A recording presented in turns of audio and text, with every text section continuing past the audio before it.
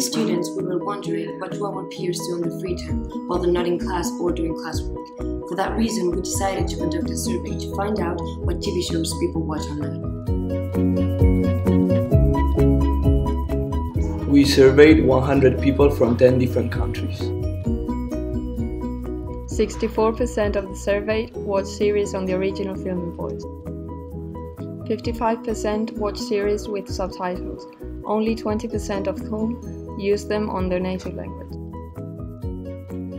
After reviewing multiple websites about what TV shows are watched all around the world, we did a compilation of what might be the 10 most watched series at IE University we wanted to know what TV show was the most successful within the students at IE.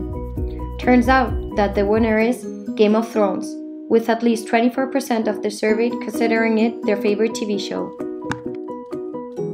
Considering that Netflix has just arrived in Spain, the probability of having it, given that you are Spanish, is just of a 17%. On average, people spend at least 3.21 hours a day watching series online. Most of the people watch series on average between 8 and 9 pm. However, 57% of the surveyed admitted watching series up till 9 pm.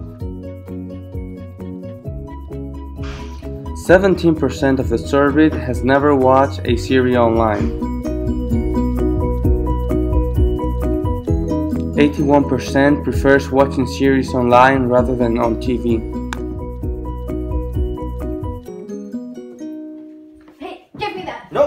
The new episode of Castle came out and I want to watch it. I was it. just watching Walking Dead. Come on. No, I don't like The Walking Dead. I want to watch Castle. It's a new episode. Come on. No. Please. No. Ah, fine.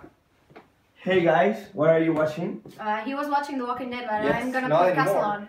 No, no, I prefer The Walking Dead. There No, you Castle's go. so much yeah, yeah, better. yeah, no, The Walking come Dead. The Walking Castle's so Dead. much It's over. better. What are you okay, talking let about, go. The Walking Dead.